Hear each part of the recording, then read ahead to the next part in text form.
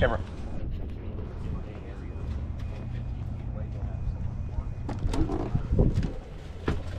Hey, Mr. Pool. Hey, Matt.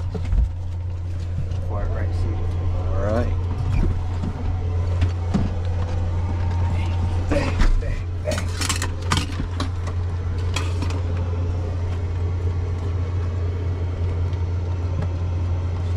Is uh, Jake coming?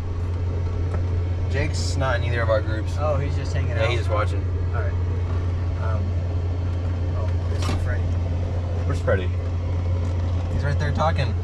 Freddie! Coming? He may not want to. Do we need the bucket? Loud, but I'm kind of there. Do we in the Uh, bucket? No, we don't. need. I'll just show you what we did. with it. Oh, I guess if he's bringing it. All right. Uh, we're all pre-flighted. Batteries on. We can close the door, Freddie. And we'll be ready to start the engine.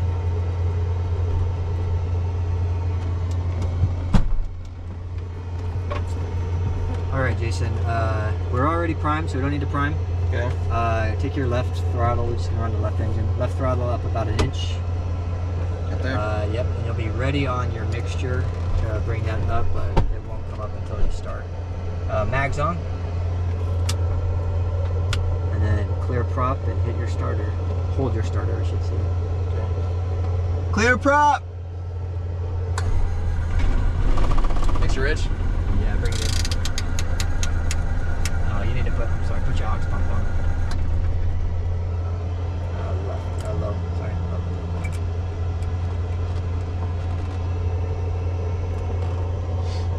Okay, uh, bring your mixture back to off. Alright. And that for the pump. Uh, yeah, pump on low. Keep it on low. Yeah, and then hold the starter.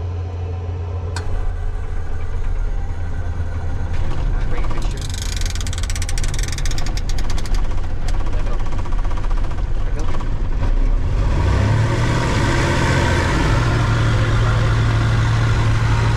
Alright, you gotta start your oil pressure is up. The green oil temperature is good.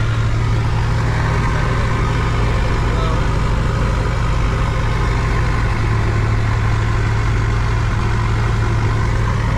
Alright, cool. So when you're doing this setup, you're always gonna let the engine run up until you before you look at your gauges. Uh, we're kind of already warmed up, um, so we're not gonna concern ourselves too much with that. When you first set the gauges up as well, uh, you could have air in your lines, like these two lines that come off. Um, so what you want to do is purge the air out of the lines before you turn the gauges on. You'll see down on those gauges there's a T-fitting. Kind of hold that up, Jason. You see that T-fitting with these two knobs? If you push on those, you almost get it out. It's also going to purge, yeah, like that. I think I said if you push on those, not if you push on those. If you- yeah, so if you push on those like Jason did, you're going to get fuel all over your stuff. That's why we have the bucket before. Anyways, that gets the air out of the lines. Okay, so now you're ready. After you've done the rest of your service letter, you're at the point where you want to check your your low uh, RPM, your idle, idle, idle fuel pressure, right? Yeah. Okay, so go ahead and bring your throttle back to idle. How do you know, based off of the service letter, where your idle should be? Um, it's like 600 RPM, isn't it? Why don't you grab that chart down there? So according to the service letter, we have a 520H. The D and the H model, you set up the prop RPM at 467 for RPM. So this is actually set a little bit on the high side. Uh, your high RPM is going to be checked at 2267. If you look at your gauge, that's where your red line is on this aircraft. Yeah. So when you go and check your high, which is like your high RPM pressure, you're going to be somewhere away from your hangar, running the engine at its max capability. Uh, you check that at 2267, and then these are the numbers you're looking for. So at idle, you're looking for 4 to P, 7 psi on your uh, unmetered fuel pressure. At max RPM, you're looking for 30 and a half to 35 psi here on your metered fuel pressure, it's just 15.7 to 17.3. That's only checked at your max RPM. Okay? Yeah. The assumption there is is that over the course of of the output for the pressure pump, that metered PSI range is going to be good for every other range uh, that the engine demand is requiring. Does that make sense? Yeah.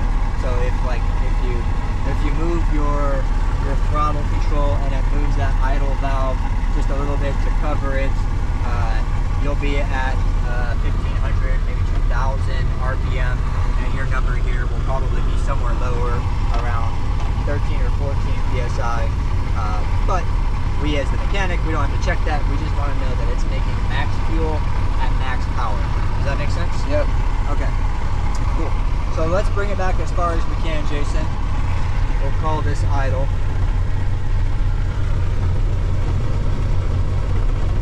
Far.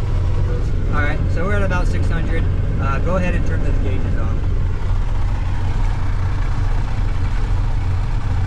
So idle 3.12 unmetered. Oh, I'm saying. Oh, this is the unmetered, correct? Yeah, the unmetered side is the braided cable. We don't care about that at idle. Okay. So the metered is 7.5. Okay, so um, I think that's a, a number you guys need for your lab notebook. So your idle, idle to unmetered, It's 7.5. seven point point five. So here, unmetered fuel pressure. I actually need to revise this because I think I put fuel pressure. you, want, you thirsty? I'm a little bit thirsty. It's hot in here.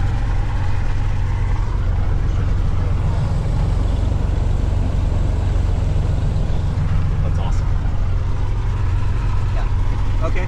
Uh, so now we're gonna simulate 2267. So we don't actually want to jump the chocks or run people over. Um, we'll Wow. go ahead and take it up to 1200 RPM.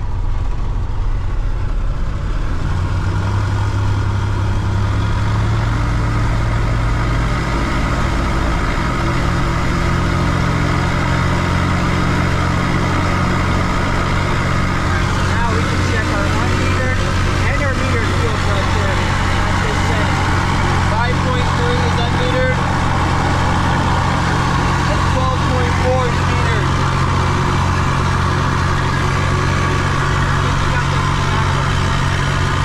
Oh, the other way.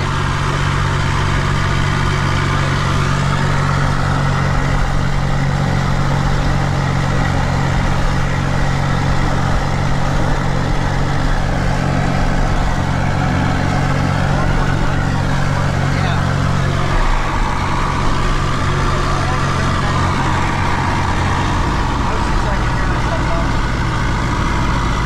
Bring it back.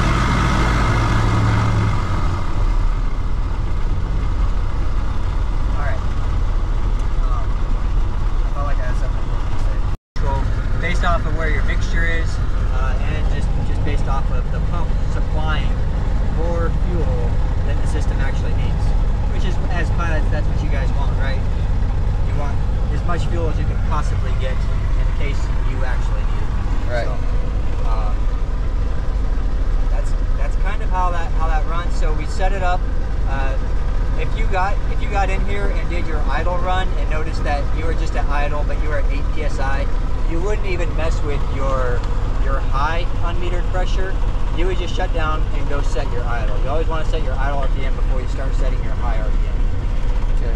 Um, so set your idle RPM, you've set your high RPM, your metered fuel pressure looks good on the ground. Uh, is there something else you do after getting the pressure set up? Uh, shutdown. You check shutdown. Uh, yeah, you check your mixture rise on shutdown. Uh, that would be done in the first few runs, probably the first run, because you want to make sure your mixture is fully shut down. This is this what we're doing right now is going to be multiple iterations while you're setting the pump up. What would you do after the last iteration? Um, Take a look at this chart here. Your, uh, uh, your fuel flow. your fuel flow in terms of pounds per hour, this is not going to be checked on the ground, okay? Uh, you're actually going to go and take this thing for a proper setup. You're going to go do a 15 minute flight with the airplane, and you're going to identify the fuel flow at the setting per note 5 uh, and make sure that this airplane is doing 250 pounds per side uh, in flight. 250 to 260 pounds per side in flight. Make sense? That's the last check for the pressure pump. All right, cool. I think we're good to go. Uh, you can turn those gauges off. Make sure your pump is. Off. I should have told you to turn that off before we looked at the gauges. That will affect gauge pressure. Uh, and then you can go ahead and off. Mags off. Um, yeah, that's that. That's it. Everything on that Yep. side. All right, do you mind getting the uh, ground power cart? Yeah, we'll get that. Where's the uh, master? Uh, it doesn't matter. We're on ground power. Okay. But it's over there on the left side. Check the check the lock. Right. Uh, Grant, maybe Grant's doing it.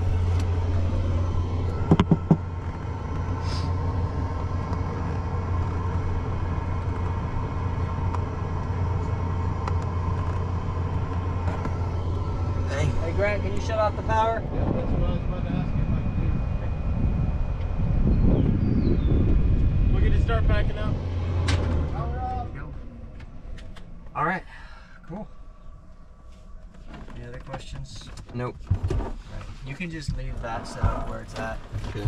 I don't. I hope it's not gonna rain tonight. Um, hope you not. Close your window, Matthew. Yeah.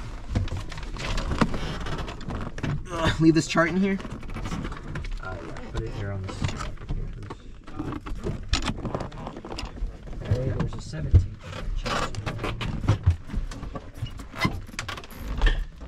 All right, thanks, Mr. Pool. Yep.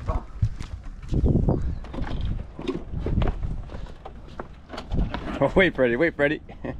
Well, I was gonna get the plug. You can shut me in if you want, I guess. I feel like I'd be able to get myself out of there. But it would be kind of rude.